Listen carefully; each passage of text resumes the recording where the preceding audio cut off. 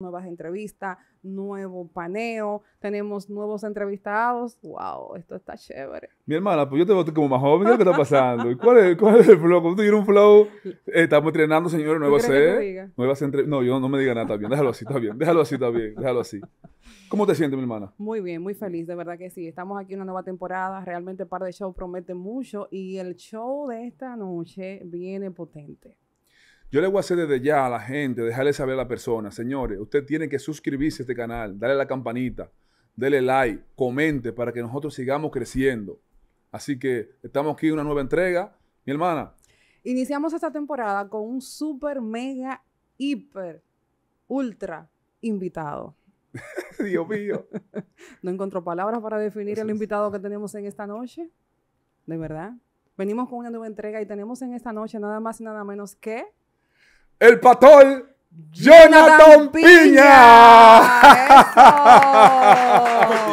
Dios mío. Dios mío. Son dramáticos. Apóstol, saludos, bendiciones. Muchísimas gracias por aceptar la invitación. Gracias por estar aquí con nosotros. Sabemos del tiempo tan apretado, la agenda tan ocupada que tiene y valoramos que esté aquí con nosotros en Par de Show. Bienvenido. Mis hijos, muchas gracias por la invitación. Shalom, Shabbat Shalom a todos. Un abrazo. Y estamos muy felices de estar aquí. Eh, el estudio ya me tenía un cohete sobre esta entrevista. Ustedes son muy peligrosos entrevistando y cosas. Estuve orando y ayunando como los tiempos de antes. Venimos aquí. suave. Suave, por favor. Sí. Estoy slow. Sí, algunas preguntitas ahí, qué sé yo, pero nada que no puedas responder, yo creo. Muchas gracias, parcerita. Sí, yo creo que sí. Yo creo que era necesario que este, este programa, ya el estudio estuviera aquí. El estudio me estaba huyendo y huyendo hasta que lo agarré. Ya lo agarré. Dios mío, Dios. Pero vamos a iniciar esto con un rap, porque a mí me dijeron Oigan que al apóstol le encanta. ¡Ey, ey, ey! Un rap, un rap. Estudio, estudio, estudio, estudio, estudio. Usted me ama a mí. Sí, yo te sí, pero no me deja con manipulación. Estudio, usted me ama. Yo soy de la persona que ha estado en los últimos años más cerca con usted. Y yo sé que cuando nosotros estábamos en el patio de la casa, Sí, pero eso son las 2 de la mañana. Eso es después que hicimos sede del Chabá, que comimos el pan de Chabá, que me entró el alma adicional y demás. Pero no son las 2 de la mañana ahora mismo. Así que por favor, lléveme suave. O sea, esto, ¿usted me vienen a entrevistar o a un concurso de rap? no, estudio, lo que pasa es que yo creo que ese talento que usted tiene, creo que la gente debe, debe- debe de verlo, porque es un talento que usted tiene que... Y la gente empieza a predicar. Voy a dejar de rapear en su casa. Si usted lo que va a Ay, estar haciendo me obliga a Jin Ará con mi rap. Ah. Si usted me va a estar haciendo Jin Ará con mi rap, además Natán y, y, y, y Redimido y compañía tienen que comer, mano. Pues si yo me, Ay, mi me madre, pongo lo dijo. Este asunto, si, yo- si, si Rubén y yo nos ponemos en esto, tú supiste que Natán va- Ahora, ahora, yo escuché a Natán el profeta decir que hay poca gente que responda como usted. ay, ay. Bueno, ay. dijo la verdad. Dios mío. Qué sincero, qué Póngame sincero. No vaya a ser que no me salga una improvisación más nunca. Blia Jingara. Sí, Después vamos a comenzar. Sí, no, pero al final tiene que hacer algo. Al final tiene que hacer algo. Claro ya, que ya, sí. No hay nada, que, no, no hay nada que, que una ofrenda no pueda hacer. Una ofrenda por ahí, por abajo de la mesa, tranquila. Ah, que, algo hacemos, algo ok, hacemos. ok. Un cel, un cel. Ok, ok. Dios mío. Vamos a iniciar entonces, vámonos a la niñez. Una pregunta que me surge. Cuando niño soñaste en algún momento con ser famoso y cuánto costaría el precio de esa fama? Bueno, mira, eh, hablando de rap, tú sabes, ya, ya pasamos esa etapa. Cuando yo era chiquito, yo vivía improvisando en la calle con los muchachos, eh, haciendo como pista con beat, eh, con la boca. Y en una estrofa que yo tenía, que ya los amigos míos se la sabían de memoria, porque vivíamos rapeando en toda la esquina. Yo no sé si yo lo dije inconscientemente, yo no sé si, si fue porque yo necesitaba que algo rimara, pero yo en una estrofa saltaba con algo así. Eh, Yo estoy elegido entre los hombres, seguro, seguro que en la historia quedará marcado mi nombre. O sea, yo no sé si yo lo estaba diciendo inconsciente, pero en mi, en mi, en mi estado consciente no me iba a imaginar nunca. No sé si ya mi alma lo sabía, que de hecho, según lo que estudiamos, mi alma sí sabía que al parecer uno iba a ser de influencia para una cuanta gente y quizá por eso yo lo escribía, pero a nivel consciente no, no tenía ni idea de lo que iba a pasar. Estudio, yo lo que es una pregunta. Y yo Hmm. quiero ir de una vez. yo, quiero ir de una vez. A- sí, yo, yo quiero ir de una vez a lo que venimos. Usted sabe que eh, usted aparte, eh, prácticamente es una de las personas más odiadas ahora mismo allá afuera por el, ¿Cómo? por el mundo, por el mundo, por un, por un, por una religión que vamos a decir que podemos decir el, el mundo cristiano, la religión cristiana. ¿Por qué usted cree que, que esa, esa rama de la religión lo ataca tanto, lo, lo- lo- siempre está hablando, siempre vemos que alguien siempre tiene algo que decir sobre Jonathan Piña? Yo estaría azarado, no sé. bueno, mira, lo primero es, lo primero es que la impresión que nosotros recibimos de la gente que nos ama es exageradamente más que la gente que nos odia. Yo diría que está 80-20. Porque nosotros percibimos las redes, son muchos canales de YouTube, Facebook, Instagram y demás, y uno mira eh, todo lo que entra y ciertamente hay mucha gente que no ataca, pero es más la gente que está siendo bendecida. O sea, según yo, según mi cálculo, analizando, ve, porque últimamente, como ustedes han visto, hasta amigos han venido en contra de uno, gente que uno ha honrado toda la vida, que lo ha respetado, que ha estado para ellos. Así que hay un momento que uno hace unos cálculos y dice, ¿dónde tuvo el fallo? Es decir, está bien que estoy estudiando mística judía y que mis conceptos pueden, pero dentro de todo lo que vi, encontré una parte que yo lo consideraría fundamental para causar odio principalmente en los extractos más religiosos del cristianismo. ¿Y cuál es? Que en las congregaciones tradicionales, para poder mantener eh, gente como, eh, para poder mantener los incautos ahí dominados, hay que manipularlo demasiado y hay que sugestionarlo y hay que imponerle demasiadas cosas. Por ejemplo, al día de hoy hay personas que para poder ir a un concierto a disfrutar de alguien que le gusta, tienen que ver si el pastor le da permiso. Al día de hoy hay personas que no pueden ni salir de viaje si el pastor no le da permiso. Si hay un predicador en el área y lo quieren ver, tiene el pastor que darle permiso, etcétera, etcétera. Entonces, cuando yo vengo a decirle a la gente en mis prédicas, hey, tu pastor no es tu Dios. Tu pastor te tiene la obligación de enseñarte la palabra y tú como receptor vas a tener que identificar qué cosas aplican a tu realidad y a tu camino de alma. Es decir, tú, ustedes dos son mis hijos de CFA, ustedes no tienen que hacer exactamente lo que yo diga, al contrario. Ustedes tienen que tener cuidado porque tú vas a dar cuenta a Dios particularmente por tu vida. Tú no vas a poder decirle en un momento dado, como uno enseñaba, no, pastor, yo hice esto porque mi pastor me dijo. No, Dios te va a decir, era tu responsabilidad digerir lo que era puro y lo que era impuro. Es tú no me puedes, o sea, es imposible que alguien se justifique porque un pastor me dijo que lo hiciera. O sea, entonces, en ese sentido, yo le he dado duro, imagínate tú, te paro en los, en los seminarios, que van miles de gente, en, mi canal de YouTube, con 80 mil suscriptores, esto, a decirle a la gente, tu pastor no es tu dueño. Identifica tu camino de alma y fluye. Y digo públicamente, para colmo, hay un predicador en el área, un cantante, y tú quieres ir. Si tú me quieres notificar para yo orar por ti, o sea, el pastor te puede dar un consejo, pero no es verdad, señores, yo lo voy a decir 20 mil veces. El pastor no es que te no es que decide si tú puedes ir o no, pero yo, yo no soy dueño tuyo. Tú vas a dar cuenta por tus acciones. Tú tienes un camino de alma. Y para eso súmale, a eso súmale lo que nosotros estudiamos, que tú sabes. Es decir, según yo y mis estudios del SOAR, toda la gente que te encontraste en el camino es porque tenían previo un acuerdo de alma antes de venir a la tierra. ¿Qué quiere decir eso? Que hay una información que me va a dar quien sea que yo me encuentre en la vida, codificada, me lo va a decir en español, me va a decir good morning, buenos días, pero ya yo sé por mis estudios que ese buenos días o esa información puede traer una información a mi neshama, a mi alma, que me puede servir en mi rectificación diaria. Así que yo te podía estar privando de tú ir a buscar una información que hiciste bajo acuerdo confidencial en, en- en lo- en el mundo espiritual, porque yo, no, tú no vas. eh, hasta, hasta le eligen pareja. No, ese, ese hombre yo no lo quiero para ti. Yo no soy que debo querer el hombre para ti. Wow. Es Dios que tiene un hombre para ti y yo te puedo orientar en cuanto a la percepción, porque toda mi orientación va a venir con mi formación y mi percepción de la realidad. Entonces, se lo voy a decir una y mil veces, tu pastor no es tu Dios, tú no tienes que obedecerlo obligatoriamente. O sea, tú tienes que tomar la enseñanza, pero tú corres riesgo de que tu pastor sea un corto de visión, un tipo que no tiene la capacidad de guiarte en algunos aspectos específicos de tu vida, financiero. O sea, hay pastores que no saben nada de finanzas. ¿Cómo tú me vas a decir a mí que, que, yo tengo que hacer lo que este tipo me diga si no se formó en finanzas, no se formó en grandeza, en, en, en asuntos de, de intelecto? Entonces, eso choca con la religión. Cuando tú vienes y dices eso con un montón de pastores que tienen eh, vaca, que tienen que hacer todo lo que yo diga, eh, yo soy un enemigo del sistema. O sea, yo, es una amenaza y por eso, porque ¿qué? yo no me meto con la gente, yo no hablo de la gente, yo no le pido a la gente, yo no pido prestado, yo no pido dado. Yo no, para que tú no te metas con nadie y, to, y mucha gente se vengan a meter contigo, es porque hay intereses particulares que tú estás tocando. Así que yo lo siento, esto fue que yo vine. Dios wow, mío. Dios mío. En ese mismo tenor, cuando vemos esta actitud del apóstol, hemos notado que ha disminuido las invitaciones. Ejemplo, anteriormente, anteriormente veíamos al apóstol Piña en seminarios, en congresos, muchas invitaciones. Ya no vemos lo mismo. ¿Te duele eso?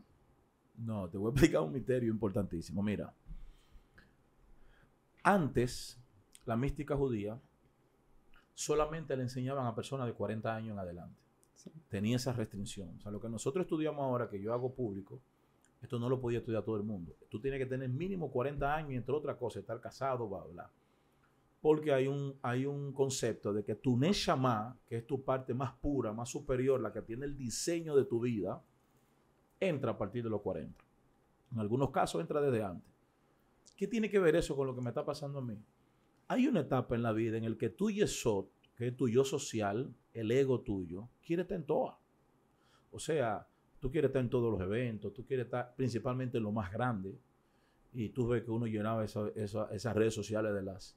¿A dónde me faltó ir? Yo ya yo llevo 22 años y estuve en 40 países predicando. Es decir, el estudio fue conmigo a Perú y habían ahí, qué sé yo, 8 mil, 9 mil personas en Perú. Y fuimos a México, con, él fue conmigo a donde había miles. Y fuimos, y yo hice aniversario en el, en el pabellón de combate con 5 mil personas y en San Cristóbal y en el play de qué sé yo. Es decir, todo eso llenaba una etapa en mí. Estar en los congresos más importantes, ustedes saben los nombres. Pero llega un momento, y me pasó ya acercándome a los 40, donde tu alma se inclina por cumplir lo que vino a hacer en este mundo, no lo que llena mi ego. O sea, llega un momento donde yo, he tenido, yo comencé a ver invitaciones así, donde una era de miles y otra era de diez, y por alguna razón que no podía entender, por todos los años mi alma se iba para la de miles. ¿Quién deja una invitación de, donde tú vas a ver 3 mil personas en un congreso y aquí te está invitando uno de 10 gente? Y yo comencé a notar cambios donde mi alma se inclinaba por el de 10 gente. Yo decía, wow. qué raro esto. Hasta que me di cuenta que lo mejor que te puede pasar es que te enamores de tu diseño. Es decir, que tú tengas hambre por lo que te asignaron. Y como ahora mismo yo estoy enamorado de esto, es decir, esto es lo que yo respiro, nosotros montamos nuestro propio seminario, cúpula de hierro aquí, seminarios allá, Rosh Hashanah. Mira, ahora mismo nosotros tenemos 800 personas inscritas en Rosh Hashanah. Hay un hambre increíble. Tremendo. Y tuvimos que cambiar de lugar. Entonces, cuando tú comienzas a disfrutar eso, ya mi ego, no, yo no extraño de que, wow, yo quisiera tentar lugar. ¿Por qué? Porque el contenido y muchos de los espectáculos que se hacen ahí, que yo respeto todo eso, pero ya mi alma no se llena de eso. Entonces no me siento mal porque siento que estoy haciendo aquello por el cual Dios me trajo. Y cuando tú maduras, tú te enamoras del diseño que viniste a hacer. Tú no te enamoras de lo que llama más la atención, de donde hay más gente. Y yo lamento que gente, tú sabes, está como en esa nota. Todo el mundo parece que tenemos que pasar por ahí, pero yo no extraño eh, todos los congresos. Al contrario, yo me desgasté demasiado predicando de lunes a lunes, cansado, esto patada voladora, demasiada competencia, demasiado enemigo, gente que quería que te fuera mal. Y yo, imagínate tú, mi libro, tres años corridos siendo número uno en venta. Enemigo por pipa. En el mundo religioso. ¿Quién? Pero, pero, pero ¿En serio? Pero eternidad por dentro y, y, raza paralela humildemente fueron. Bueno, déjame yo. Déjame yo sí, deja eso así, tú deja eso así. Vamos deja eso así. O sea, yo no. Wow.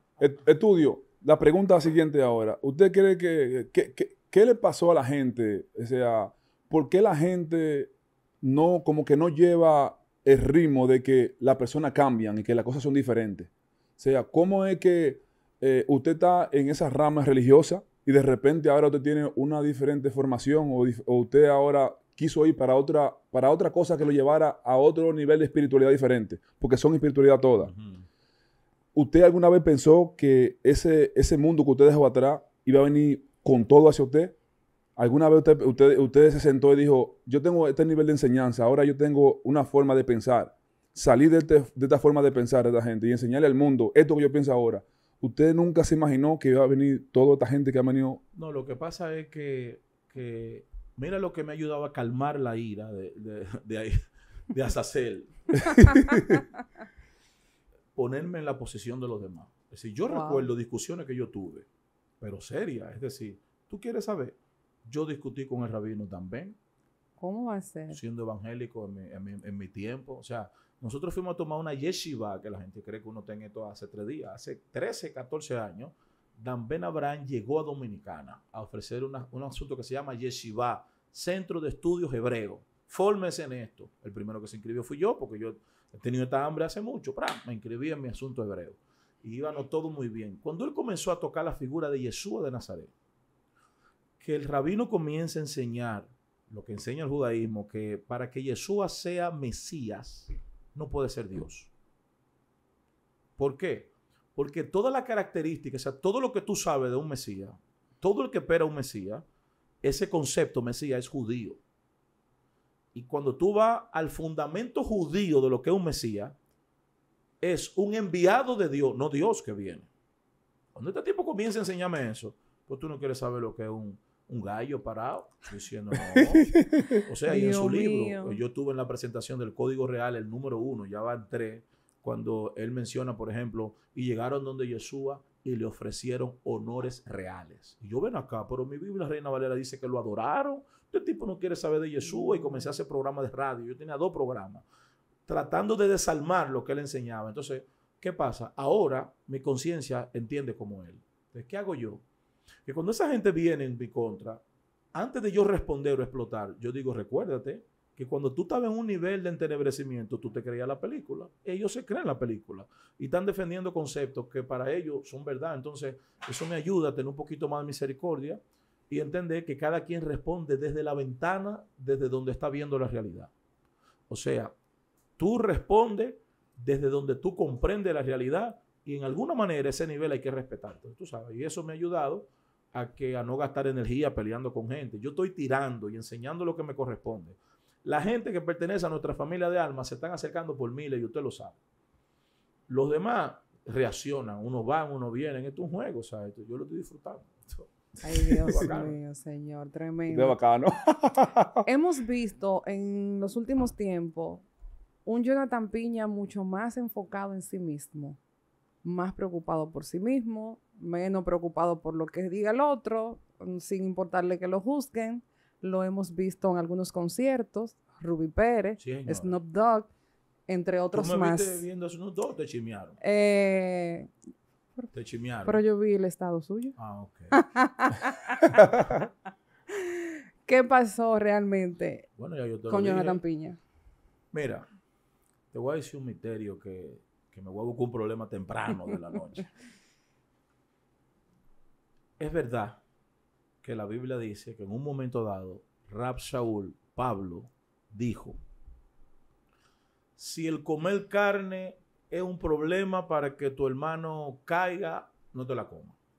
Por misericordia a tu hermano. Ahora, ahí es donde chocan la religión y la espiritualidad.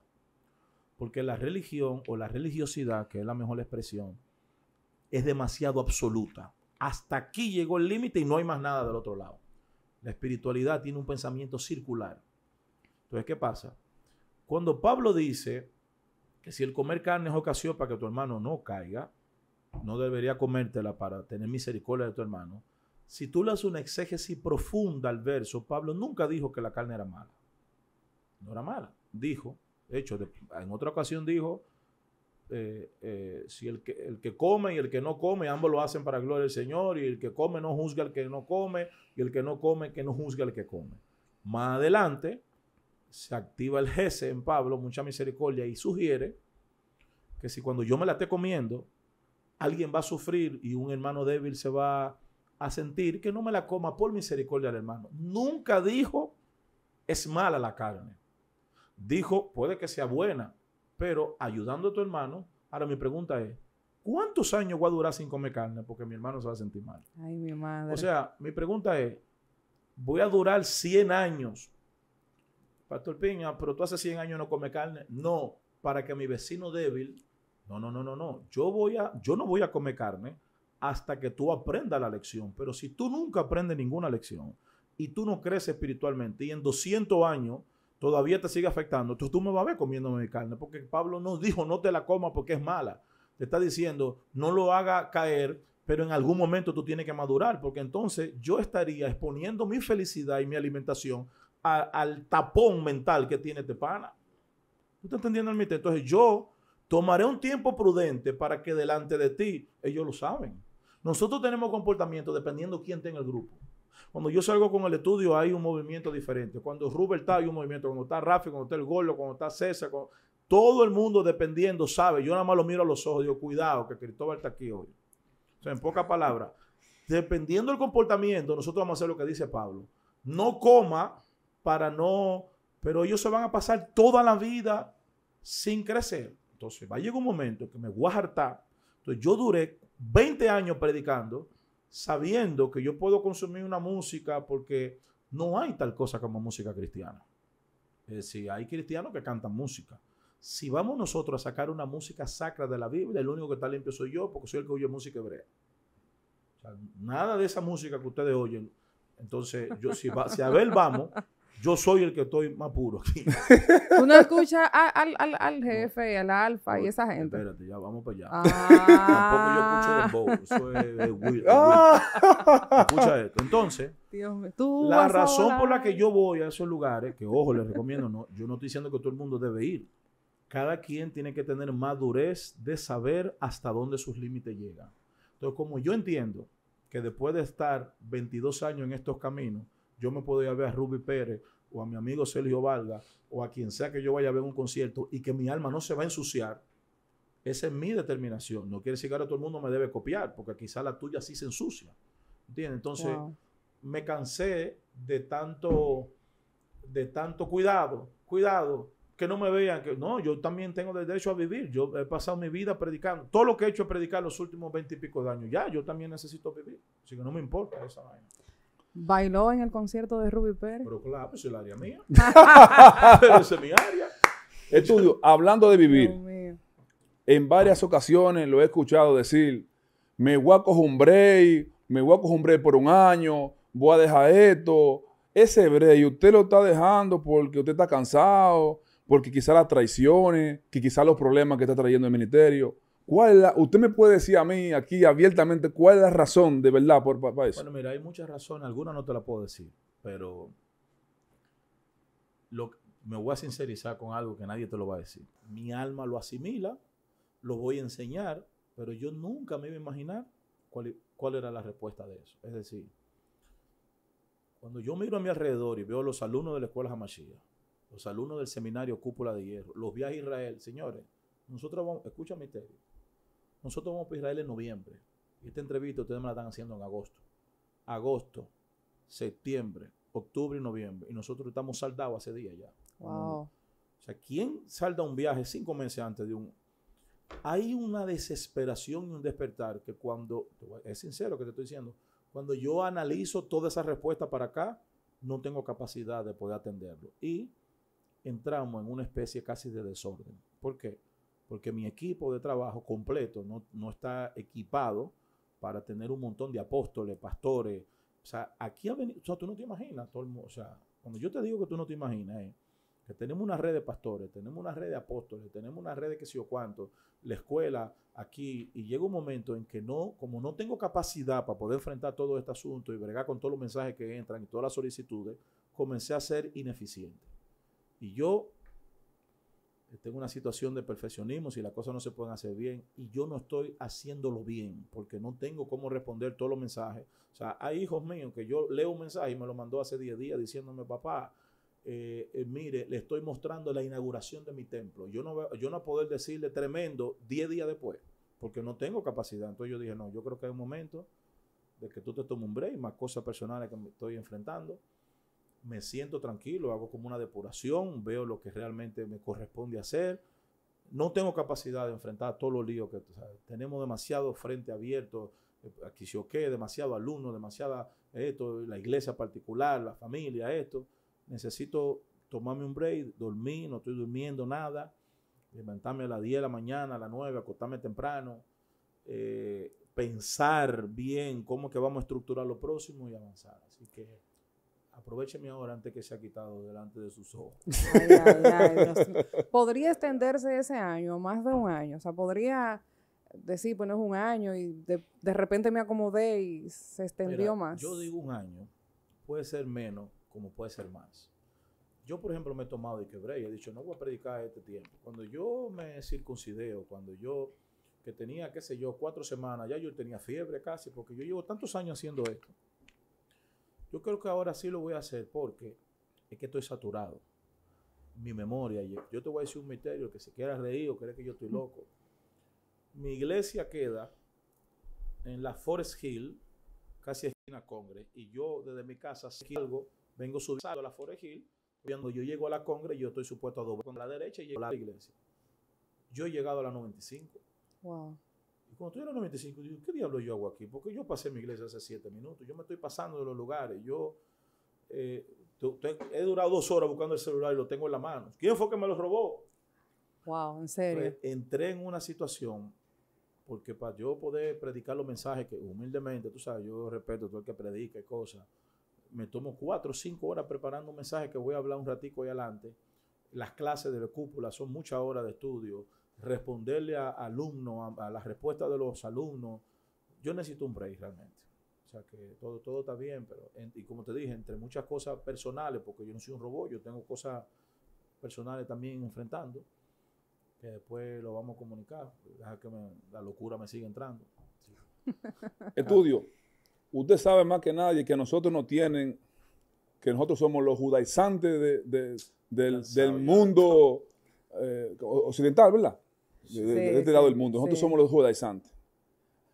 ¿Alguna vez usted está pensando, ya, como el tesia judío, ya, andar con su kipá, con, con su talí, con, el sitsi, con, todo? mira, usted sabe más que nadie, que estuve a una esquina de volverme judío. No te lo voy a negar. Estuve, tomé mi clase de, de, de Cash Rule, que fue lo último sobre la alimentación judía, eh, todo lo que era una vida judía, y estaba listo ya, que dicho sea de paso, el rabino que me iba a ordenar está picado conmigo. Eh, es como con una oveja se te va a última hora. Eh, y yo veo que la gente me acusa de eso a cada rato. No, que es judaizante. La gente no sabe lo que es un judaizante. O sea, no sean ignorantes, mano. O sea, primero trata de ver qué es un judaizante para luego tú puedes acusar a alguien de judaizante. Un judaizante es una gente que te quiere hacer que te convierta al judaísmo. O sea, te quiere traer a que te vuelva judío usar argumentos judíos no es ser judaizante, porque no hay entonces más judaizante que los cristianos. ¿Por qué? Porque el diezmo es algo judío. Y a los cristianos les gusta el diezmo. O a los pastores les gusta el diezmo. A los otros no. La primicia es una fiesta que se llama Bikurim, es una, es una fiesta judía. La Pascua es una fiesta que se llama Pesach, es una fiesta judía. El presentar los niños es un asunto judío totalmente el bautismo es un asunto judío. Es decir, yo puedo amanecer citando cosas que están en nuestro contexto cristiano, que son judías realmente, originarias. El Mesías es un asunto judío. Ninguna religión del mundo está esperando un Mesías. Mesías viene de Mashiach, que es un asunto judío. Entonces, número uno, yo no soy judaizante, porque yo no estoy trayendo a nadie al judaísmo. No me voy a... Digo, no sé lo que me va a pasar.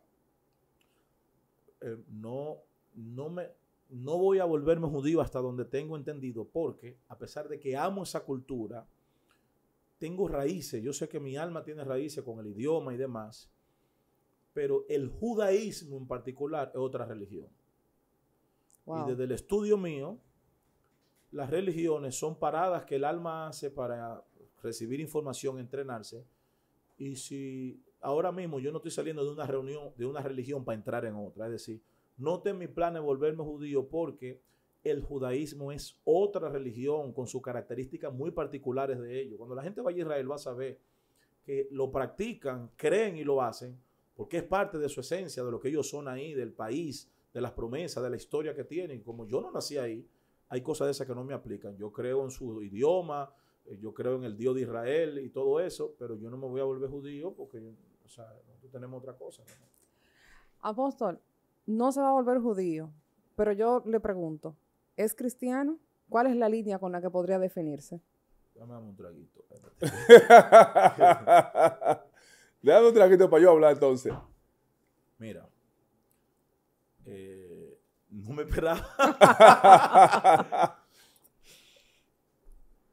yo te puedo decir aquí para salir del paso, yo soy cristiano. De hecho, yo en el cristianismo fue que yo tuve acercamiento a la espiritualidad. Yo pasé en una campaña, levanté mi mano, acepté a Cristo. Lo que yo no estoy seguro si el fundamento fuerte de, de, de la religión cristiana, ese odio a Israel, esas interpretaciones insípidas, me representan a mí. Entonces yo me quiero identificar como un hijo de Dios para no buscar. Yo soy un hijo del Creador, Wow. cumpliendo una función aquí, porque, y otra cosa es que una de las características del cristianismo, que yo no la critico, el cristianismo, es, tengo un título de pastor para colmo, es que es como encasillar a alguien en una religión. Es decir, tiene que defender esos intereses. Yo no sé si tú sabes que un cristiano no se vincula con un musulmán. Exacto. Yo, yo llevo toda mi vida en el cristianismo. Yo te puedo decir, un una mujer cristiana no se va a casar nunca con un budista. Está prohibido porque te van a decir yugo desigual y demás. Entonces, la conciencia que Dios me ha permitido eh, tener hasta ahora es que yo soy un agente de luz a todas las naciones. Wow. Es decir, si yo tengo que tener un empleado budista, un amigo musulmán, un primo, o sea, si yo tengo que vincularme con gente de religiones diferentes, yo lo voy a hacer porque yo encuentro luz en todas partes. Y en el cristianismo eso está básicamente prohibido. Entonces, por eso yo te diría, mejor catalógame un hijo de Dios haciendo una parada en el cristianismo y trayendo una reforma adentro. Listo. Wow. Salió bien. Se me Salió va- Se bien. me vació esta copa. Lo- Dios mío. Estudio. Ok, sabemos cuán- que hay muchísimas líneas de, de- de pensamiento y muchísimas líneas de espiritualidad, de forma de cómo llegar a la espiritualidad. ¿Por qué usted elegir la mística judía? Tú ves, esta pregunta me gustó. Esta pregunta me gustó porque, porque yo tengo dos copas. Esto es un gancho. Para después salir que piña ahora no solo bebe, sino que bebe doble. Compartimos, Yo no compartimos. gancho aquí, háblame claro, esta vaina en vivo. Yo- Mira, esa pregunta me gustó, estudio, porque la mística judía, primero yo siento una conexión en mi alma con esa línea de pensamiento full. Segundo, la mística judía tiene varias ramas, así como el cristianismo. Hay cristianos eh, menonitas, hay cristianos bautistas que no creen en el Espíritu Santo, un ejemplo, en el bautismo y demás. Hay cristianos que son adventistas del séptimo día. Así dentro de la mística, la mística judía que yo abracé, que no es la ortodoxa, porque el judaísmo también es parte, o sea, la mística judía también tiene judaísmo. Y hay una parte que ya tú sabes, con todo el Midrash y el Talmud y todos lo- los aparatos del mundo judío, y entonces dentro de ese mundo también son místicos. No, no, no. Yo abracé una mística que son para mí las reglas de funcionamiento del universo.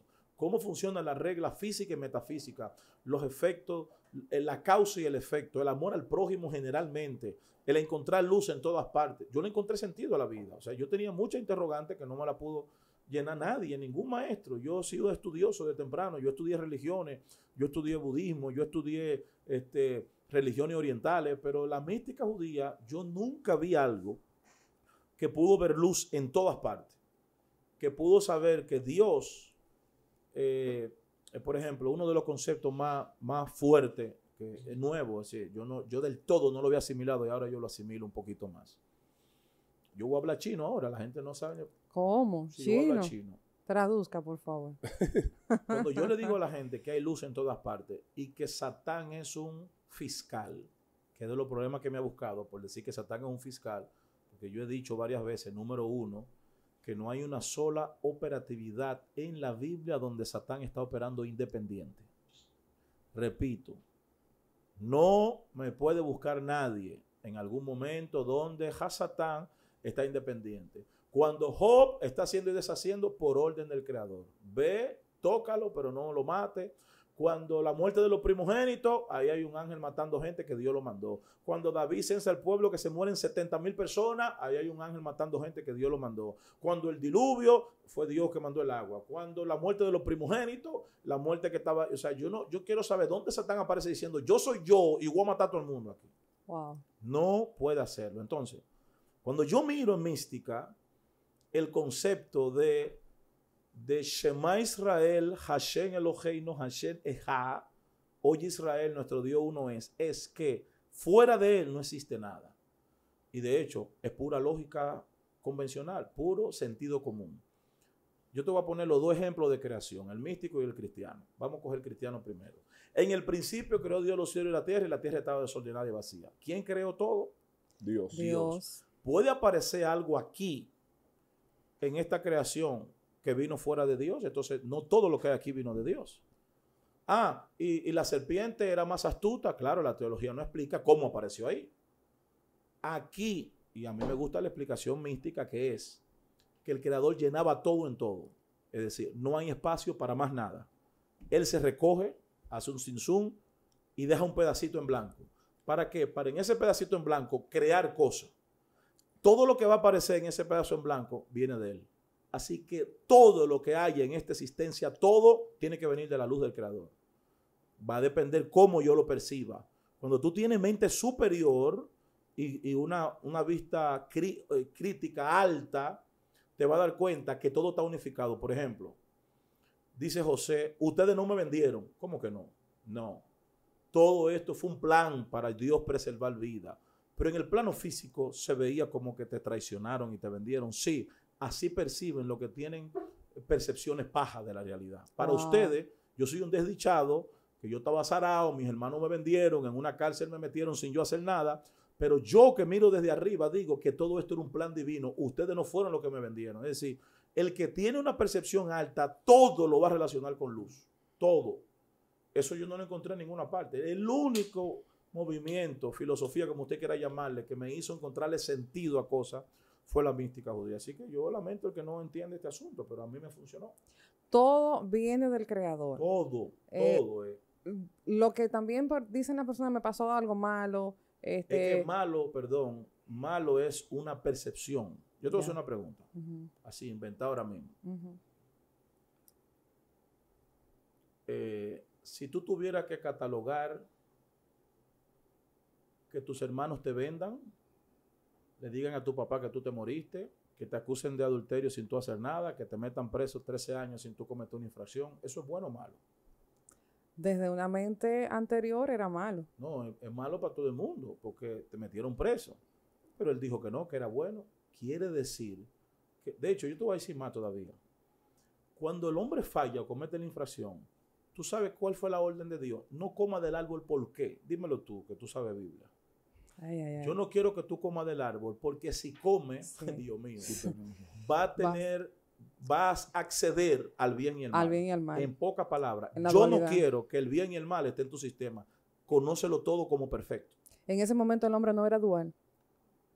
No, el hombre tenía conciencia de unidad. No sabía todavía lo que era bueno y malo. Lo bueno y malo se activó luego que se falla, se comete la infracción, lo que tú quieras. Quiere decir que todo lo que yo vea bueno y malo es la conciencia reptiliana fruto de la caída. Wow, De ahí para arriba todo es perfecto. wow. Dios mío, pero Dios mío. Tremendo. Está duro eso. Y entrando en código y esas cosas, Wilkin, yo quiero preguntarle Este Al no era el mismo vino de ahorita, ¿o sí? Sí. Ok, que ya Dicen- estoy percibiendo. Dicen que el mejor vino se deja de último. ¿Qué piensa Jonathan Piña sobre la sexualidad cabalística? ¿Cree todo lo que dice la cábala sobre el sexo? ¿O hay algunas cosas que rechaza?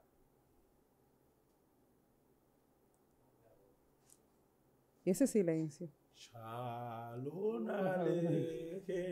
Malaje malaje.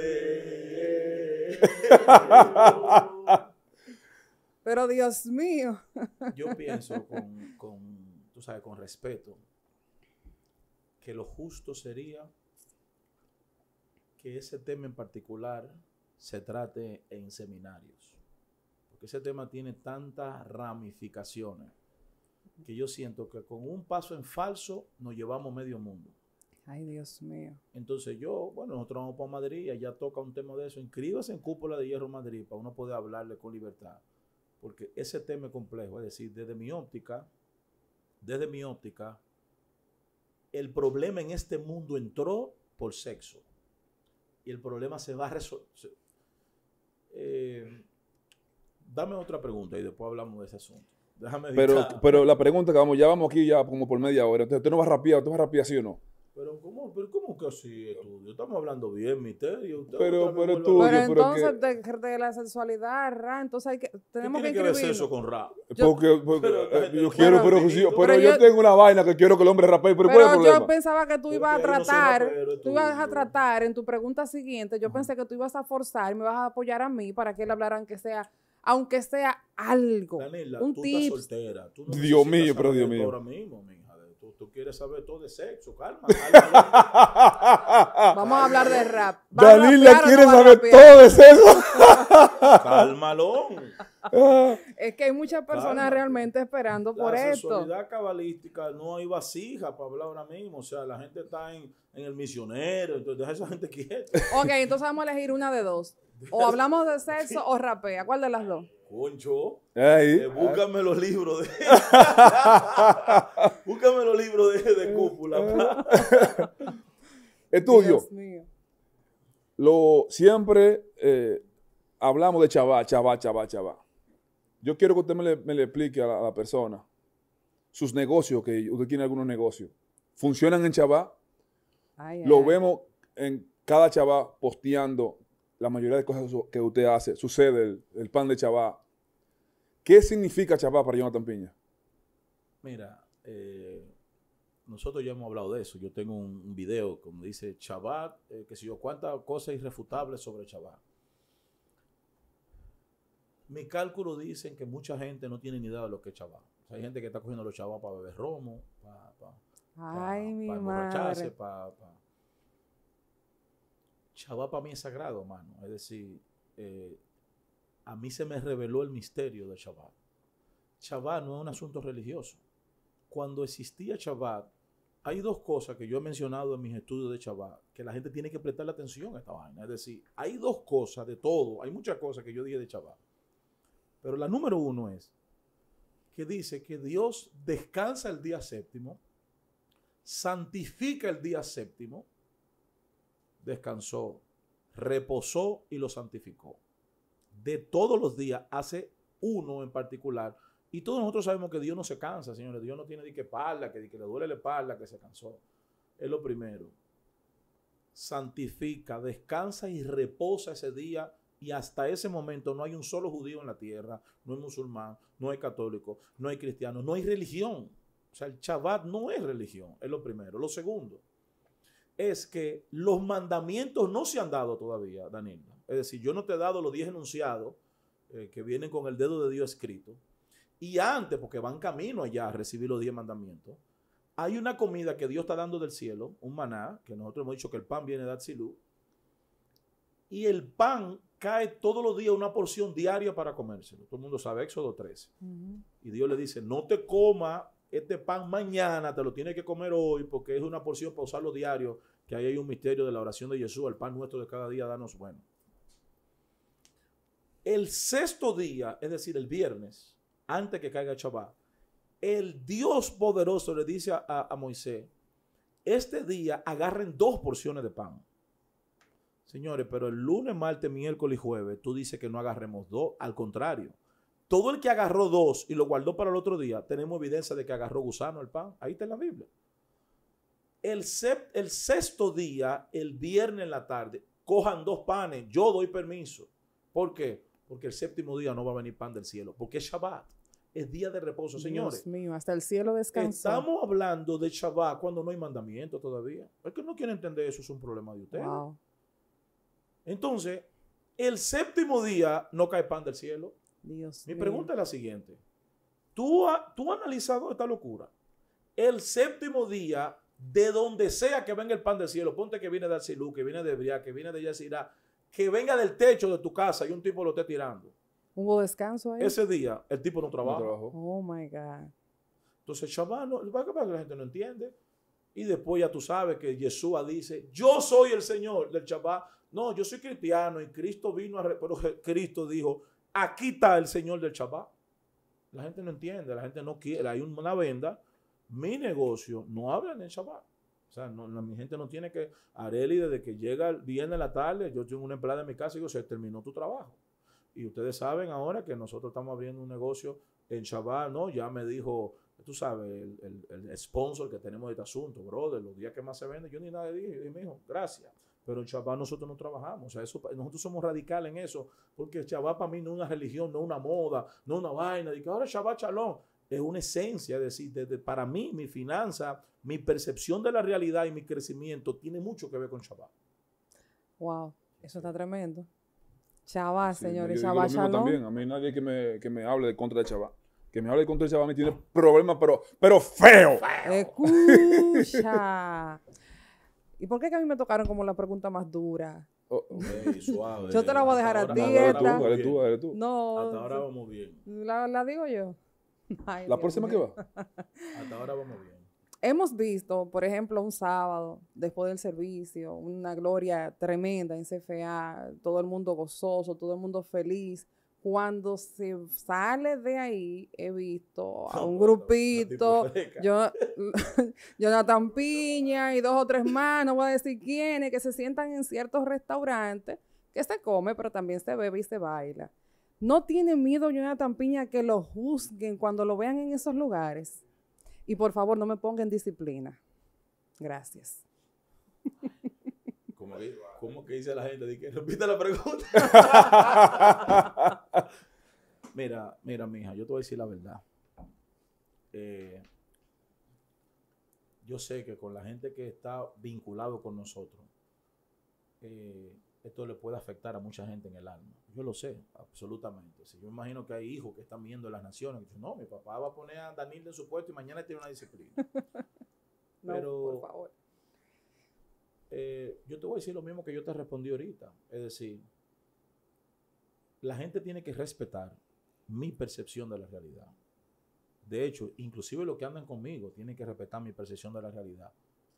Hay cosas que desde mi óptica a mí no me dañan, ni me van a dañar. Es decir, no me van a dañar y que yo me siento bien. He durado demasiado tiempo eh, cuidando, porque mira que el otro, pero ya, o sea, ya yo cumplí 40 años y mi Neshama me dijo, tú has predicado demasiado, tú has ayudado a demasiada gente.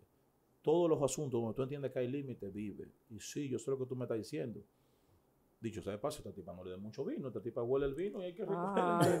Ay, Dios. Brum, brum, brum, brum, Claro, brum. fue que yo me di cuenta de este asunto. Puedes seguir Ujiere, con la respuesta, Ujiere, por favor.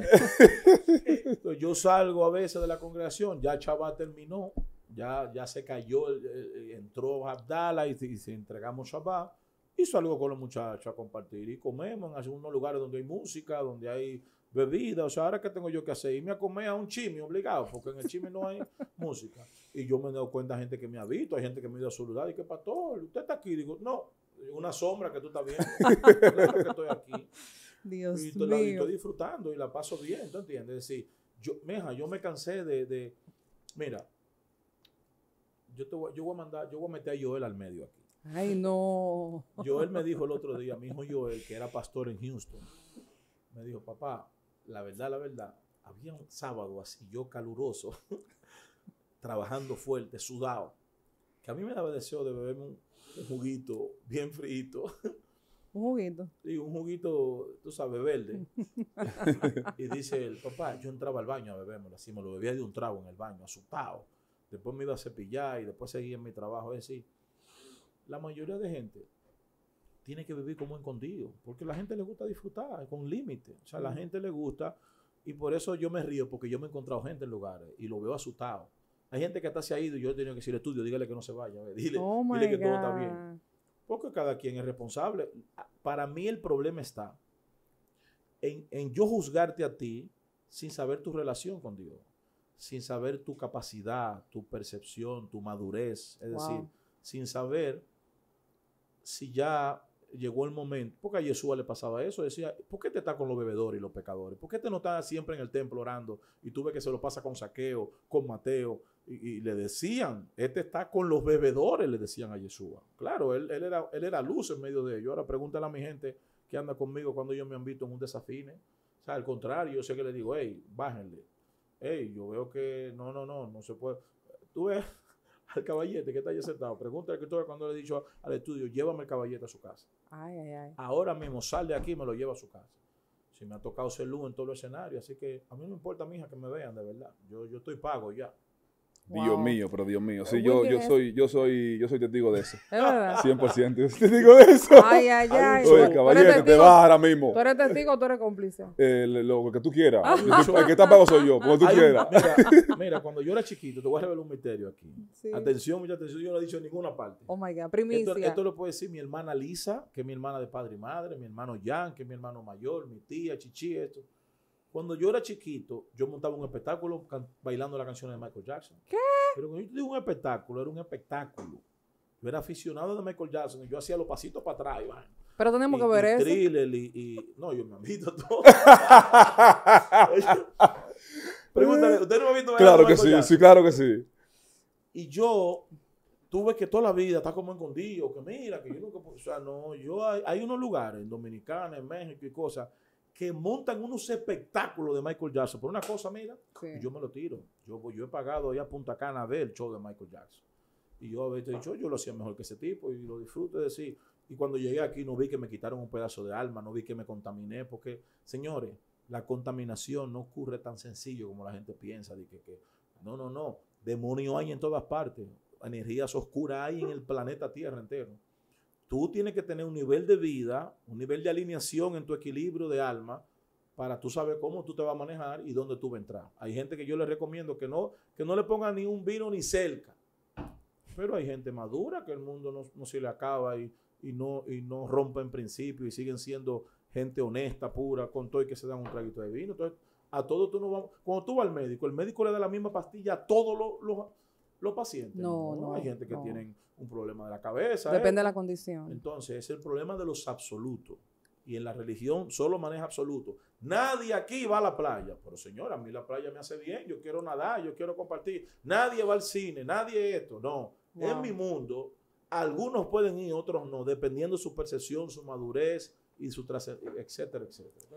Apóstol, yo sé que le toca el turno a, a Wilkin para preguntar algo, pero antes de, yo quiero Antes contar, preguntar. Una pregunta que te quiero hacer. eh, No, no, no, no es por nada. Pero ¿y cuántas Tenemos que aprovechar el tiempo porque- 500 preguntas, no, tenemos que aprovechar el tiempo. tenemos que aprovecharlo. Así como hablamos de personas que lo juzgan, que lo critican, muchos lo dejaron de invitar para sus, sus actividades Para religiosas. Pero yo me, me surge la pregunta, ¿hay también pastores tras bambalina que están de acuerdo con, con- con estas enseñanzas, que en lo secreto, en lo oculto, le dan el apoyo, te dan el apoyo, te dicen, eh, yo estoy de acuerdo con eso, pero no lo puedo decir? Porque sabemos que Pero mucha gente que está... responda, yo no. Sabemos que mucha, estudio. no, sabemos que mucha gente está también cuidando su pellejo. Saqueta. es todo lo que hay. Pileta. Mira. Para el que no entiende pileta, que hay muchísimos. Mija, en los cúpulas de hierro, nosotros hemos tenido 30 y 40 pastores, de por Dios, o sea, y los pastores que me escriben Dios y, mío. y- y identificado, porque está viendo un despertar de verdad. Cuando yo te digo un despertar, que no es un truco, es un despertar estratosférico, es una locura lo que está pasando. Y el pastor, mire, mi respeto para usted, y yo sé que algunos de ellos tienen compromiso con la religión, cobran de ahí, el concilio lo puede afectar, y tú ves que mantienen un perfil regular. Yo lo sé, y yo los entiendo. Y me lo dicen, oye, mi hermano, te escuché. De hecho, yo me di cuenta, ¿sabes cómo yo me di cuenta que un montón de pastores me escuchaban? Porque cuando el servicio termina, Carlos tumba el mensaje.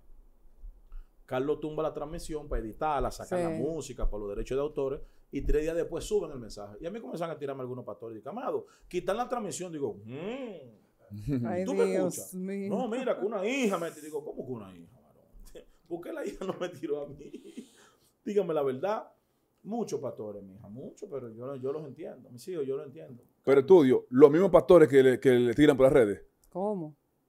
¿Tú me lo estás preguntando o tú me lo estás firmando? Yo eso estoy preguntando. ¿Cómo? A dímelo tú, pastores que, que Concho, no me haga Los tú que están bien. atacando también son los mismos. No. Hay gente que se beneficia, mira, hay gente que, que- que agarra los mensajes de nosotros y lo predica en su, en su contexto.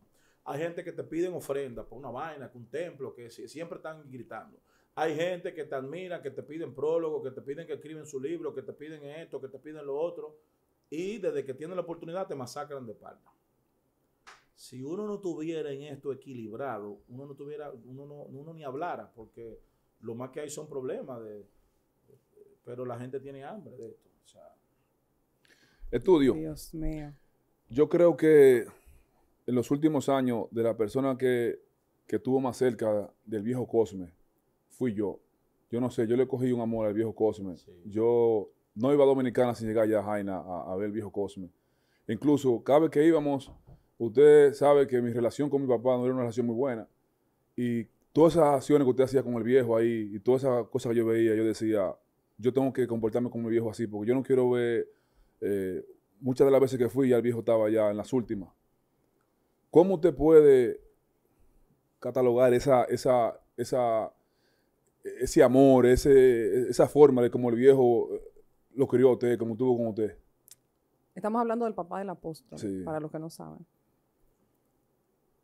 yo no sé, yo pienso que podemos después hacer un programa después, ¿verdad? Que hablemos de, de mi papá, de mi mamá y esos asuntos. Si usted quiere. Sí, claro que sí. Se respeta ese Sí, derecho. sí, un brequecito. Sí, está Por bien. supuesto que sí, se le respeta. Um, dentro del círculo del apóstol Jonathan Piña, ay Dios mío. No me pongan disciplina, por favor. ¿Hay favoritos en ese círculo? ¿Qué pregunte, carajo, esta? Pero venga acá. Pero, pero me cálmate sin preguntas, chantaje, pero por favor, acá. cálmate, Oh, pero venga acá, cálmate. no. ¿Cómo que me calme? Ah, pero eh, Mira. está para allá, el tigueraje. Mira, yo puedo salir del paso y más que están casi todos aquí. Yo vi gente con la mano en la cabeza. Yo puedo salir del paso y decirte, no, porque Dios no hace asesión de personas, que Dios sabe lo que hace. Sí, no, y Dios sabe lo que es cloro y mitolín y todo ese asunto. Eh, si yo te digo que no, yo me estoy engañando a mí mismo. Porque yo puedo demostrar que Dios también tenía favoritos. Sí.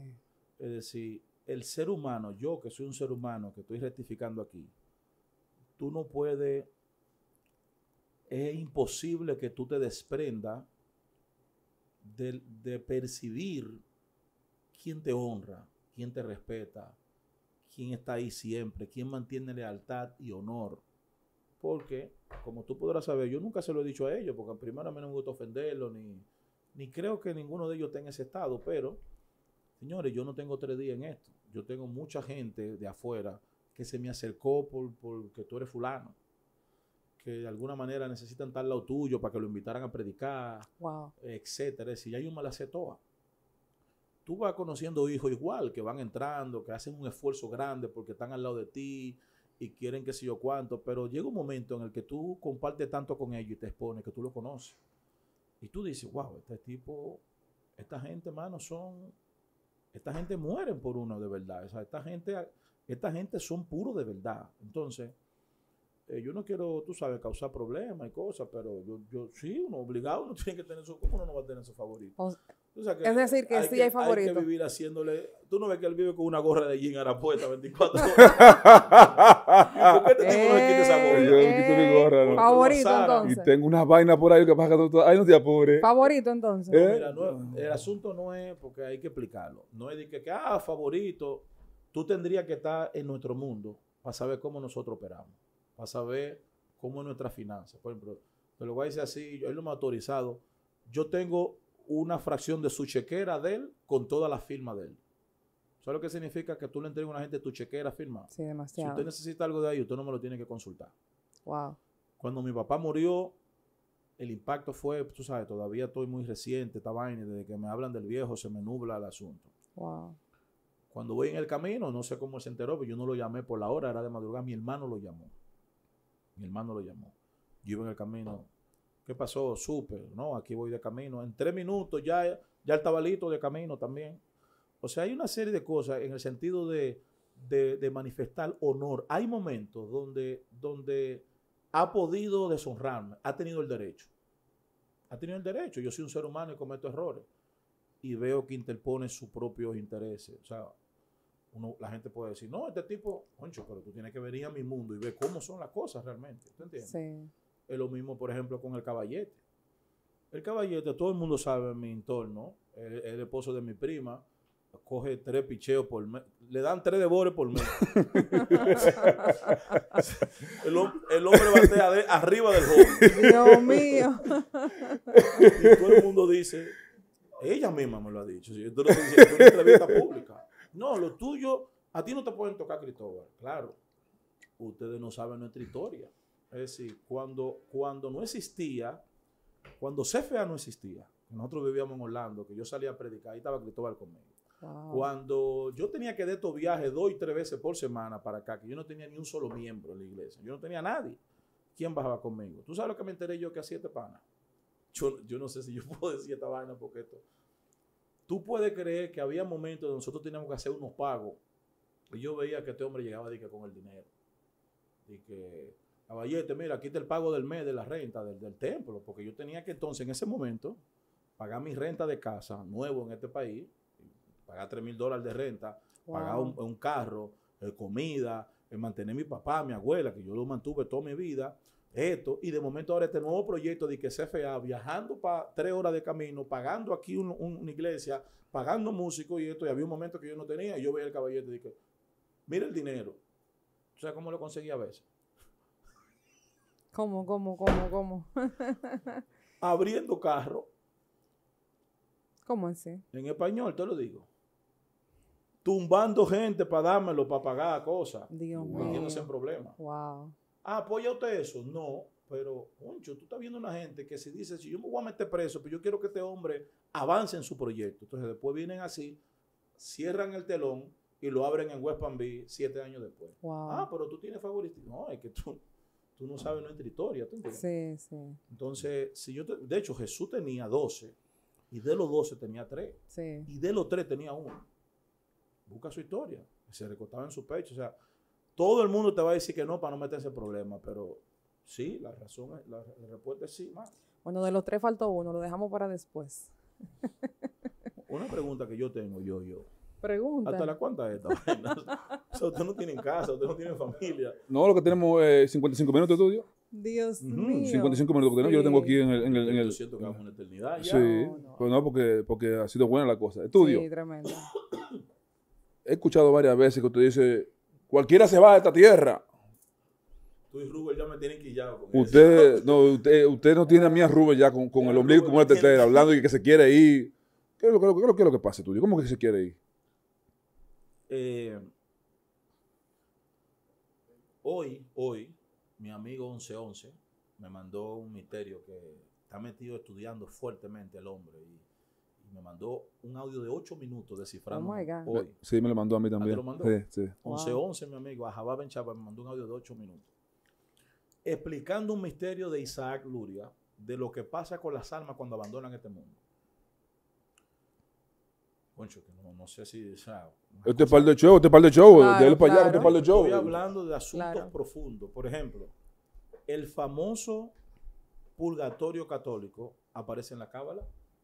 ¿Cómo? Madre mía.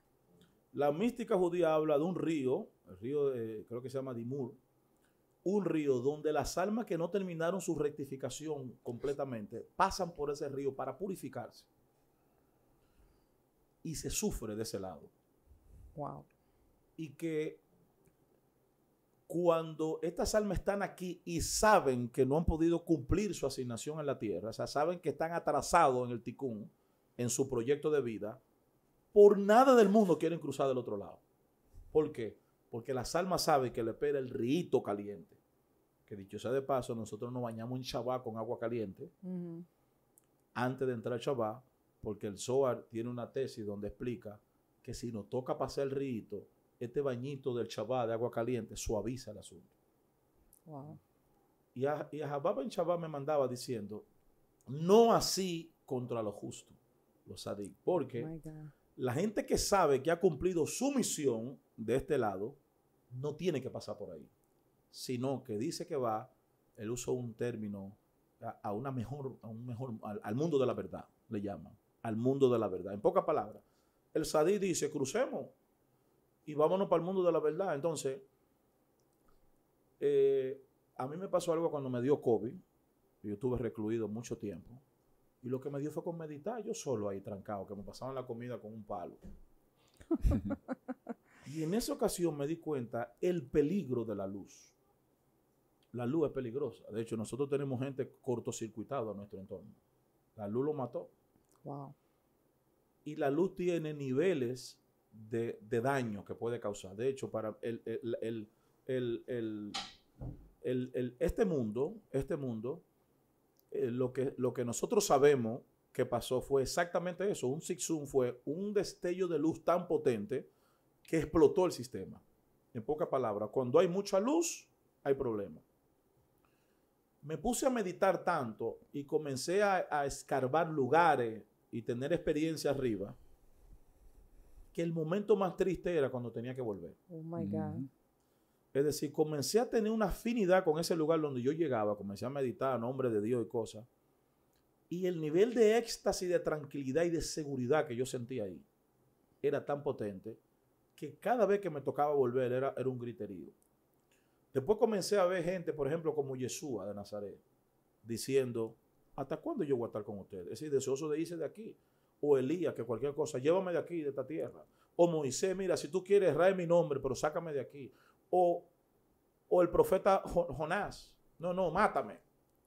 O Pablo diciendo, el morir es ganancia. ¿Cómo que el morir es ganancia? Está diciendo, a mí me va bien si me muero. Porque cuando comienzas a darte cuenta que la muerte no existe, la muerte no existe, la muerte es un estado de, del alma. Y tú comienzas a analizar toda la impureza de este mundo, toda la deslealtad de este mundo, toda la... Por ejemplo, alguien puede decir lo que te deprimió. Pero tú sabes los amigos que yo tenía cuando predicador. Yo, yo, yo tenía demasiados amigos que te invitaban. Yo tenía una agenda llena. eh, compartían contigo en la noche lo que iban a predicar el domingo. Piña, yo quiero hablar de esto. ¿Qué tú me dices? A mí me decían el rabino desde hace mucho, porque me gustaba esto de cultura judía. Eh, estuve en todos los escenarios, campaña, congreso, de todo, con dinero, sin dinero. A veces yo mismo me pagaba el pasaje para ayudarlo. Amigos, cuando caían, cuando cometían una infracción, me llamaban, yo lo llamaba a ellos. O sea, de momento, ando hablando de dos o tres cosas que ellos no entienden y ya tú, no, yo, tú eres el diablo para esa gente. Yo digo, ven acá, como le escribí yo el otro día, eh, le mandó un audio, por ejemplo, a Miguel Sánchez, le mandó un audio, le mandó un audio al pastor Giovanni eh, de, de- de allá, de Providence. Providence. Yo, tuve, yo le dije a Miguel Sánchez, que de hecho no estoy hablando de Miguel, no quiero que un tipo vaya ahorita a una desgracia de esto. Yo le dije, tú haces una pregunta, y, yo- y me dio con hacer un recuento. Mira, cuando tú estabas en Wichita, Kansas, con 10 miembros, yo iba muchas veces a predicarte. Tú estuviste en Clinton, Carolina, con 6 miembros, y ahí estaba yo contigo. Yo me quedé a dormir en tu casa esa vez. Yo dormí en un cuartico y comencé a hacerle memoria. Tú y yo fuimos juntos aquí, tú y yo fuimos juntos a Costa Rica. Desde que tú te instalaron en, en New Jersey, el primerito que fui yo a predicarte fui yo en el segundo piso, después esto, Four Dimension, pa, pa, pa, pa, pa. Digo, tú sabes todo lo que yo hemos vivido, tú y yo. Y de momento ahora, ah, mira, yo no creo en el rapto secreto, tú eres el, el precursor del rapto secreto y toda esa historia se borró, ahora yo soy el diablo. Y la amistad y el honor y el respeto y nuestros dos hijos. ¡Wow, wow, negro! Tú eres un anciano, tú eres un sabio del oriente. O sea, cuando, pero eso es el pan de cada día. O sea, tú no te imaginas todo el deshonor, pero el estudio sabe. Nosotros tuvimos un lugar en estos días que fuimos a predicar y nosotros dejamos, pues, Dios, Dios que me perdone por esta vaina, nosotros dejamos más de 3 mil dólares. Nosotros lo dejamos. Fuimos a predicar y lo dejamos, él sabe cómo. Wow. Y después nosotros nos mandan una evidencia donde ese tipo nos está matando. Oh my God. Ese tipo, sea, ese tipo hizo una declaración ese día. Estos son mis amigos. eh, Y después nos estás masacrando de espalda. Entonces, cuando tú comienzas a meditar de este lado, a tener una, una experiencia tan linda del otro lado, la pureza del otro lado, la- y, y cuando vienes de este lado, todo lo que tú ves es impureza, deslealtad, y automáticamente, mana, tú, tú una chama se quiere ir de aquí. O sea, y uno lo dice de, de que no lo debería decir, pero la Neshama se le mete irse de aquí, porque tú dices, ¿qué es lo que tú haces aquí en este mundo oscuro? Realmente tú, y el peligro, es el peligro para mí, porque los cabritas se mueren jóvenes toditos. O sea. Yeshua se murió a los 33 Sí. años, Isaac Luria, el más grande de toditos, se murió a los 38, y Sí. así tú lo comienzas a buscar todito y no llegaban a 40. No sé. Explicado todo esto y entendiendo perfectamente esa explicación, esa enseñanza, ¿te consideras un sadik?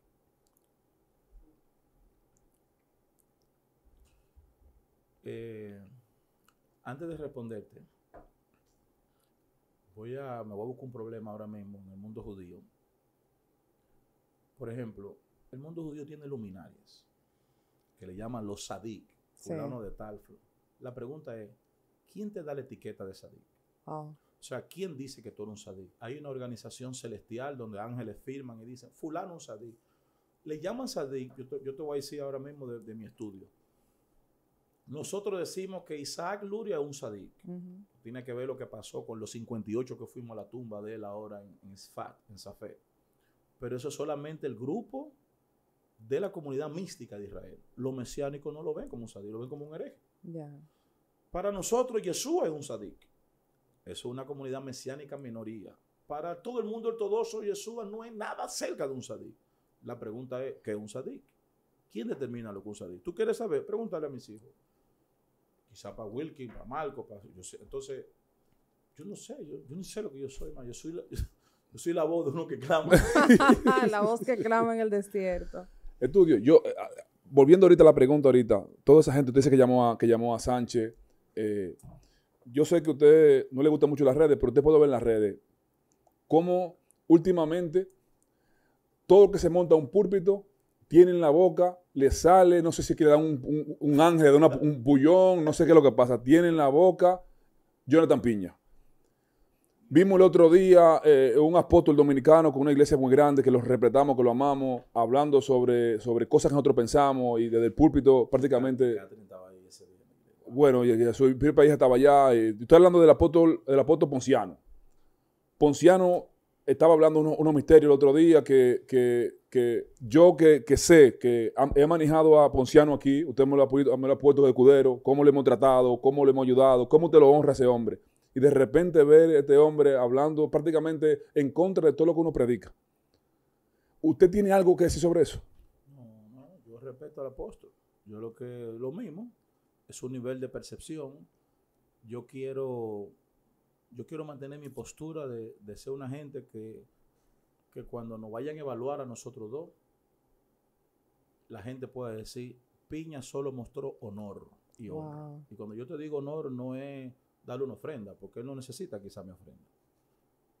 Cuando yo te digo que he mostrado honor y honra en, en momentos difíciles, esa es la imagen que yo me quiero quedar. Del, del apóstol que yo amo, que respeto, que, que me abraza, que no ha profetizado cosas aquí impresionantes. Yo me quiero quedar con esa idea. Eso, tú sabes, que piensa diferente a nosotros y nosotros lo respetamos realmente. Muy tremendo, muy poderoso eso. Realmente deja una enseñanza y, algo mucho que, que analizar. Yo sé que le han preguntado muchas veces sobre este tema. Yo creo que ya las redes están saturadas. Cuando, cuando hay un en vivo, preguntan y vuelven cuando hay una entrevista lo mismo, pero yo quiero tomarme el atrevimiento de preguntar. ¿Qué piensa sobre los tatuajes? ¿Otra vez? Sí, por favor. De la En Caridad. par de show. En par de show. Quiero que en par de show Santificado sea tu nombre. nos diga su opinión sobre los tatuajes. Lo hemos escuchado en otras plataformas, lo hemos escuchado en las tuyas, pero aquí, aquí, aquí, aquí, en par de show. Bueno, la última vez que fuimos a Israel nos dieron unos códigos feos. ¿Se pueden decir? Sí, bueno, mira. Primero ya yo he hablado de tatuajes un millón y medio de veces. Lo sabemos. Y, y- y para, para gloria de Dios, como dicen los los evangélicos, para gloria del Señor, nadie me ha podido rebatir con una tesis. Nadie. Todos los que me contradicen tienen que irse a nivel de ofensa. eh, mira ahora, pero nadie, porque no, no sé, humildemente mi tesis no se puede rebatir. ¿Qué yo pienso del tatuaje?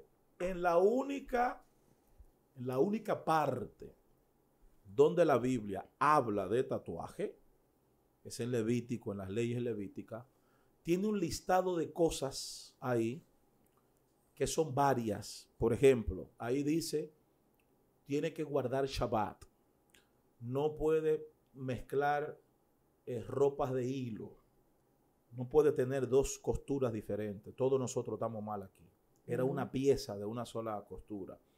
Tú no puedes agarrar la semilla sembrada en tu patio, es decir, el mango, y mezclarlo con, con manzana. No puede. Tiene que tener un solo tipo de árbol. Tú no puedes después que te dé fruto ese árbol, no te lo puede comer en los cuatro años primero. Si eh, tu árbol dio, dio naranja, no lo puede, tiene que dárselo a Dios. Y el segundo año, el tercer año y el quinto año que te lo viene a comer. No te puede hacer tonsura en la cabeza, no te puede cortar la punta de la barba. Es decir, es todo un listado. Y ahí dice, no imprimiréis el nombre por un muerto, etcétera, que luego me di cuenta que lo que, lo que dice Shimon Bar Yochai, que la- el, el texto profundo, lo que dice es que no te imprima el nombre sagrado. Oh, wow. Mi pregunta es, mi pregunta es, si tú me vas a atacar a mí y me vas a decir, no te tatúes, yo te voy a decir, ¿por qué?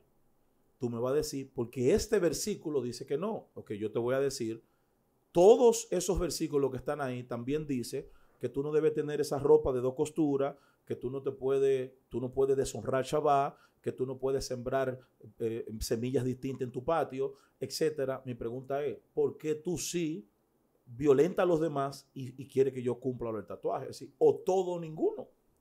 Wow. Yo pregunto siempre, ¿quién fue el apóstol, el predicador, el rabino, el teólogo que determinó que de ese grupo lo único que estaba ahora mismo activo era lo del tatuaje y que lo otro tú te puedes olvidar?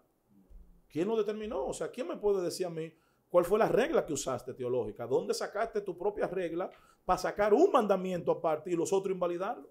Wow. o todo o ninguno. En ese sentido, vengo yo, por eso te dije que no me pueden debatir en ese, aunque suene mucho, mucho ego. Y dije cuando hablé de eso en su contexto, que yo sí respeto también, por ejemplo, los lugares. Yo sé que las maras usan tatuajes para identificarse. Sí. Y yo sé que, por ejemplo, hay lugares en Disney no te dan trabajo si tu tatuaje es visible, eh, que si te hace un tatuaje ahora no puedes donar sangre. ¿Tú me entiendes? Entonces, Sí. yo puse todos los pros y los contras. Pero al final, si no te lo haces, es una decisión particular, es una percepción tuya, pero bíblicamente, bíblicamente no te pueden condenar porque no hay cómo hacerlo. Es decir, no puede condenar a una gente que se haga tatuaje y no decirle nada porque no guarda chaval, porque están en el mismo departamento, todos están en el mismo capítulo, todo. Entonces nosotros no somos gente ignorante, nosotros no somos unos neófitos. Tú me tienes que decir qué regla usaste para sacar un solo versículo de ahí y los otros olvídate de ellos. Wow, tremendo. De hecho, ah, perdón, a mí me dijo un rabino que nosotros fuimos a ver a California. Te voy a decir literalmente, Albert Goslan, un caballo de entre los caballos entre la mística judía. Me dijo. Él responde drásticamente. El que lo conoce sabe que él Sí. toma un segundo para responder. Mira, rabino, me han dicho que yo. No, next. Y me dijo, no te debe tatuar. Ok. ¿Por qué? Porque regularmente esas impresiones atraen energía del universo. ¿Ok? O sea, él me está diciendo que si yo me tatúo un asunto, atraigo energía del universo. Yo no le pregunté por respeto, yo le iba a preguntar, ¿y si tengo letras hebreas? ¿Qué voy a traer entonces? ¿Entiendes lo que te digo? Es decir, Sí, claro. en el fondo, te estoy diciendo eso para que sepas que tampoco yo me trago todo lo que hay de este lado. Yo tengo un alma para observar y ver qué cosas me aplican y qué cosas no. Y no, eso, eso es lo que yo he dicho muchas veces. Una de las teorías del, del, del maestro de Goslan es que como que las ajaduras en la piel, pero me dejó la pregunta también, y las mujeres que, por ejemplo, han dado a luz con cesárea, o alguien que ha sido sometido a una cirugía, a una cirugía que también ha sido sajado Lo que la pasa piel. es que Goslan es ortodoxo judío. Goslan es un cabalista judío.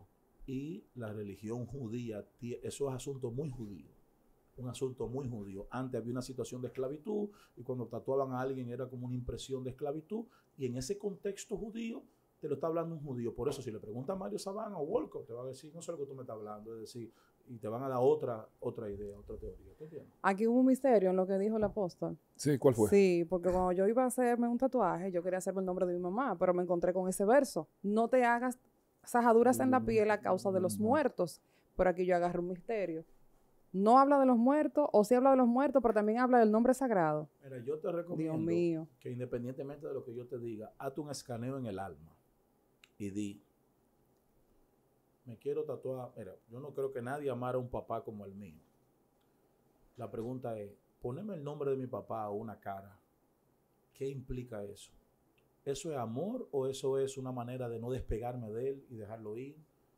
Hay idolatría, hay heridas no resueltas. Wow. Eh, por eso te digo, hazte una introspección particular y examina qué cosa es pura e impura en tu percepción de la realidad, no lo que otro diga, porque todo el mundo te entiende. Y yo le recomiendo a todo el mundo que dicho sea de paso, hoy, lo voy a decir público, ojalá esa muchacha no vea ese, este, este live, hoy me mandó una joven eh, un tatuaje que se hizo con el nombre sagrado y yo me quería morir. Wow. Yo en mi piso, en mi piso, desde donde yo veo la realidad, le recomendaría a la gente, no te tatúes jamás el Yuhei Bajei. Eso, eso es lo que yo digo desde mi piso. Tú te puedes tatuar trenzado si quieres. Pero desde mi piso yo no, lo- yo no se lo recomendaría a nadie. Tremendo eso. Estudio, un color. Pero sabe, el rojo. Dios mío, que no me lo Una bebida. El vino. El vino. coche, Una, coche. una comida. Espagueti con frito. No, en serio. Un- Pero eso, eso- esa es mi comida favorita. Uno espagueti bien hecho con maíz y unos tostones fritos. Pero ya ¿Blanco con, o rojo? Con eso tú me matas. Rojo. Rojo, poquito rojo. Un lugar. Jerusalén, Israel. Un olor. Crete. Hey. Ay. Ey, el cri- ey, ey. Dentro. Un deseo. ¿Un qué? Un deseo. Pero los deseos no se dicen, ¿cómo así? Sí, sí, Un deseo que se pueda decir. sí. un deseo que se puede decir Dentro de entonces. todos los que tiene, uno que se puede Uno que se hacer puede decir, público. entonces.